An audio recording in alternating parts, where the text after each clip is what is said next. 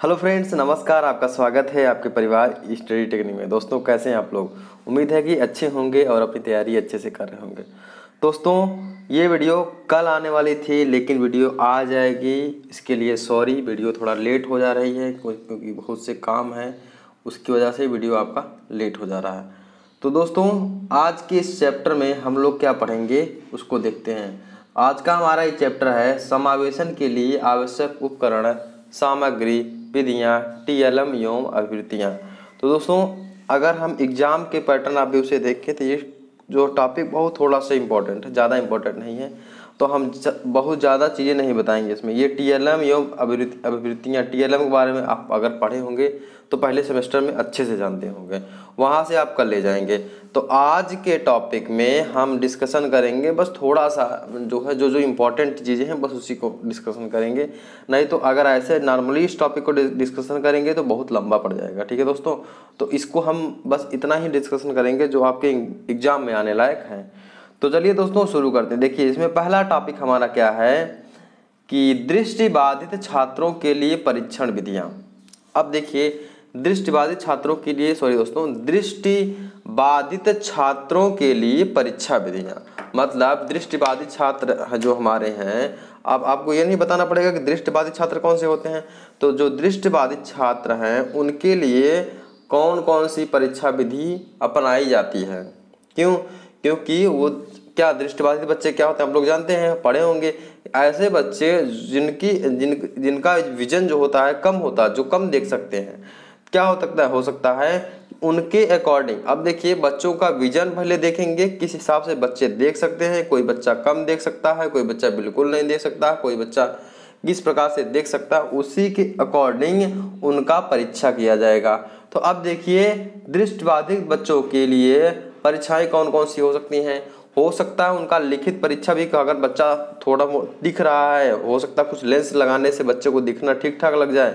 तो बच्चों को लिखित परीक्षा करा दिया जाएगा। अगर बच्चा बोल सकता है तो बच्चे से मौखिक परीक्षा लिया, ले लिया जाएगा। अगर बच्चा प्रयोग कर सकता है तो बालक से कैसा प्रायोगिक परीक्षण ले लिया जाएगा। यहाँ तक आप लोग समझ गए? कौन सा हो जाएगा? नंबर एक हमारा हो जाएगा लिखित परीक्षण, नंबर दो मौखिक परीक्षण, और नंबर तीन हमारा क्या हो जाएगा? प्रायोगिक परीक्षण। तीन परीक्षण हम कर सकते हैं बच्चों का। क्योंकि हर एक बच्चे की जो हमारा आई विजन होता मतलब देखने की क्षमता होती है अलग अलग क्योंकि दृष्टिबाधित बच्चे हैं, सामान्य बच्चे नहीं हैं। तो जो बच्चा जिसके लिए कंफर्टेबल है, उसको उस हिसाब से उसका परीक्षा हम करवाएँगे। यहाँ तक आप लोग समझ गए कि दृष्टिबाधित बच्चों का परीक्षा किस प्रकार से करवाएँगे। अब चलिए, आगे देखते हैं। अब देखिए, उनकी, देखिए, यहाँ पर है क्या? उनकी सुविधा के अनुसार उनकी परीक्षा का प्रारूप हम बना सकते हैं। कि बच्चा जिस हिसाब से समझ रहा है, जिस हिसाब से बच्चा एग्ज़ाम कर पाएगा, उन्हीं के अनुसार से हम उनका पेपर तैयार करते हैं। तो अब पेपर तैयार करने के देखिए कौन कौन से तरीके हैं। देख लेते हैं हमारे कौन कौन से तरीके हैं। पहला देखिए इसमें क्या है कि बच्चों का, को ब्रेल प्रश्न पत्र तैयार करके। अगर ब्रेल प्रश्न पत्र तैयार करेंगे तो ब्रेल में आप लोग जानते हैं, पूछा जाता है अन्य एग्जामों में कि ब्रेल में कितने डॉट होते हैं? आपके होते हैं? छः डॉट टोटल कितने होते हैं दोस्तों? ब्रेल में आपके छः डॉट होते हैं। ठीक है? कितने होते हैं? छः बिंदु होते हैं। डॉट मतलब बिंदु. कितने होते हैं? छः बिंदु होते हैं। ठीक? तो ब्रेल प्रश्न पत्र अगर आप तैयार करेंगे तो बच्चा ब्रेल प्रश्न ब्रेल में उत्तर भी लिखेगा। तो ब्रेल प्रश्न पत्र और ब्रेल में उत्तर. दूसरा दूसरा देखिए कि अगर आप प्रिंट प्रश्न पत्र तैयार करेंगे तो प्रिंट प्रिंट सॉरी दोस्तों, अगर आप प्रिंट प्रश्न पत्र तैयार करेंगे तो बच्चा क्या होगा? लेखक की सहायता से किस मतलब कोई ऐसा है जो उसको प्रश्न पढ़ के पढ़ के बताएगा और उसका उत्तर कौन बताएगा? दृष्टिबाधित बालक बताएगा और उसकी सहायता से वो जो है किसी लेखक को उसका आंसर बताएगा और वो लेखक उसको लिखेगा। इसको दोस्तों दोबारा समझिए। देखिए, प्रिंट प्रश्न पत्र का मतलब ये हो गया कि जैसे एक साल भर मतलब जैसे कि एक बच्चा होगा दृष्टिबाधित होगा, उसके साथ में एक सामान्य बच्चा बैठाया जाएगा। फिर क्या होगा, जो सामान्य बच्चा होगा, वो जो है क्वेश्चन को पढ़ेगा। पढ़ करके दृष्टिबाधित बच्चे को बस बताएगा कि ये क्वेश्चन हमारा है। और वो दृष्टिबाधित बच्चा उसका आंसर देगा और जो आंसर देगा, वही आंसर जो उसके साथ में बच्चा, सामान्य बच्चा बैठा रहेगा, वो क्या करेगा, उसको लिखेगा। इसी को कहते हैं लेखक की सहायता से उत्तर। समझ गए उम्मीद? उम्मीद आप लोग? आगे देखिए। रिकॉर्डेड प्रश्न पत्र रिकॉर्डेड उत्तर देना। अब देखिए, कुछ प्रश्न पत्र क्या करें रिकॉर्ड कर लें, उनका उत्तर रिकॉर्ड के अनुसार देना। आगे देखिए, मौखिक प्रश्न पत्र, ये भी बहुत इंपॉर्टेंट होगा। क्या होगा दोस्तों? कि मौखिक प्रश्न पत्र तैयार करना और मौखिक उत्तर। मौखिक का मतलब उनका, जैसे साक्षात्कार टाइप ले लेना, ठीक इंटरव्यू ले लेना, ठीक, कुछ भी क्वेश्चन पर। ऐसे दोस्तों नॉर्मली पूछ लेना उनसे क्वेश्चन पूछना और उत्तर पूछना उसका। तो ये हमारा हो जाए क्या? कि, कौन कौन सी बुद्धियों से बच क्या हो जाएगा? दृष्टिबाधित बच्चों का हम परीक्षण कर सकते हैं। एक बार और डिस्कशन करेंगे दोस्तों देखेंगे कौन होगा हमारा ब्रेल प्रश्न पत्र और ब्रेल में उत्तर। पहला कि ब्रेल प्रश्न पत्र अगर रहेगा तो ब्रेल में उत्तर दिया जाएगा। प्रिंट प्रश्न पत्र में लेखक की सहायता से उत्तर दिया जाएगा।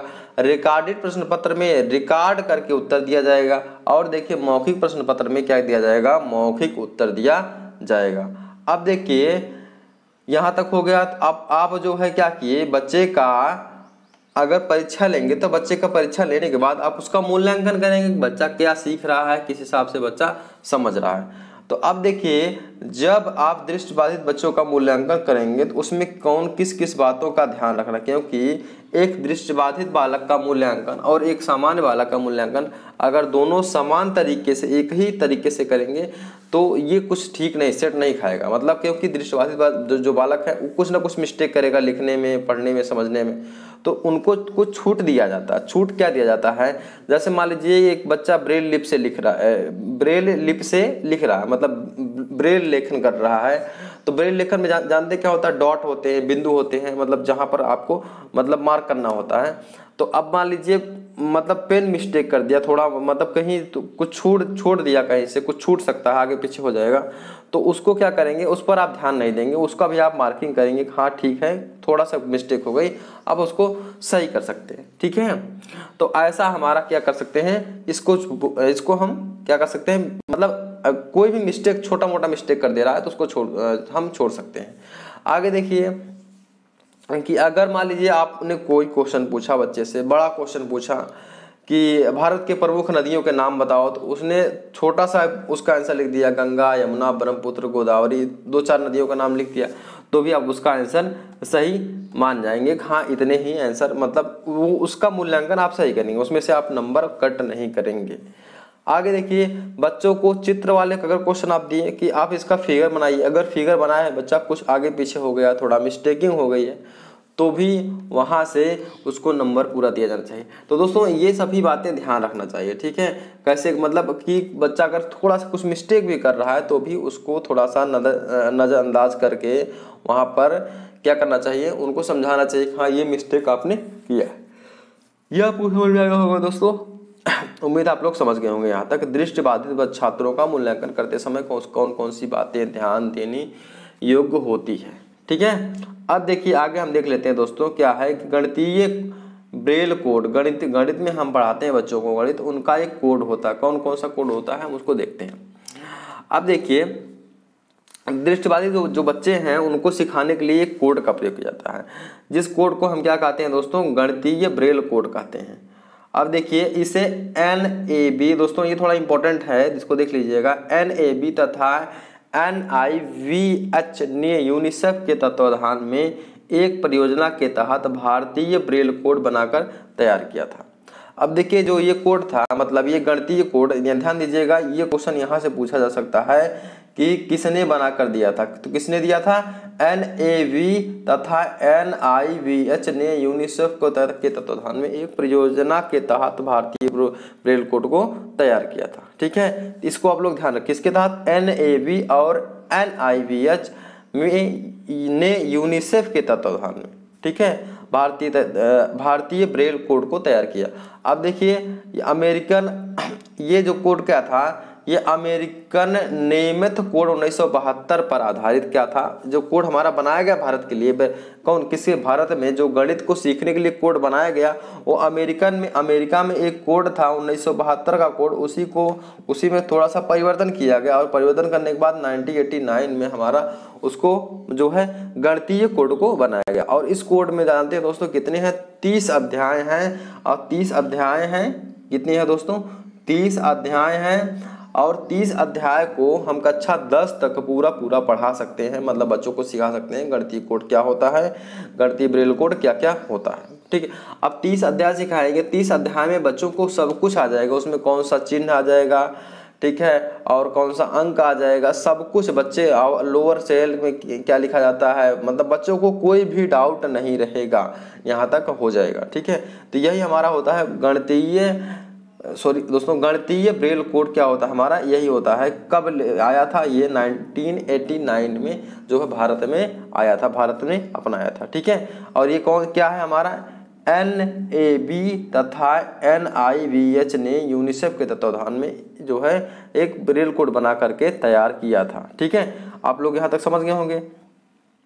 अब देखिए, इसका इसका हमारा क्या है कि इसमें देखिए लोअर सेल और अपर सेल को ठीक से पढ़ा जा सके ताकि किसी प्रकार की भ्रम की स्थिति ना रहे तथा संख्याओं को अक्षरों से अलग करके पढ़ा जा सकते। हैं दोस्तों, इसको इस ढंग से बनाया गया है कि बच्चों को अगर आप पढ़ाएँगे क्लास टेंथ तक पूरा बच्चा सीख जाएगा, गणितीय गणितीय कोड तो वहाँ से बच्चा कोई भी उसको डाउट नहीं हो, कोई भी क्वेश्चन आप दे देंगे तो आराम से कर ले जाएगा, आराम से हैंडल कर ले जाएगा।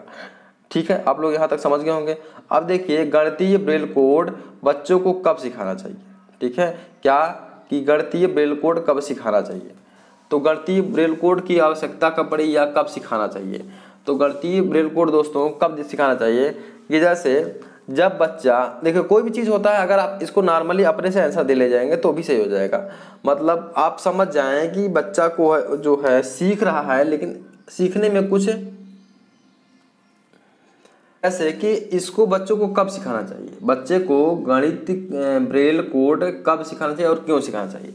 अब देखिए क्या होता है कि गणित का जो ब्रेल कोड होता है, ये आप देखा जाए तो एक प्रकार से बहुत टफ माना जाता है मतलब कठिन माना जाता है।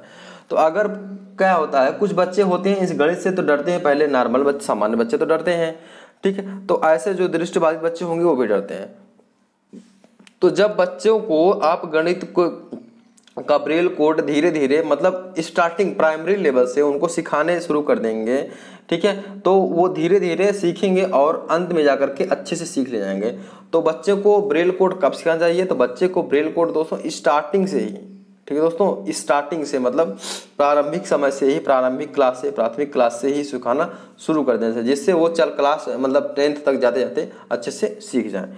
उम्मीद आप लोग समझ गए होंगे। दोस्तों, ये क्वेश्चन ज़्यादा इंपॉर्टेंट नहीं है, इसीलिए मतलब वो आगे जो दो क्वेश्चन हम डिस्कशन किए थे, दो टॉपिक वो ज़्यादा इंपॉर्टेंट है।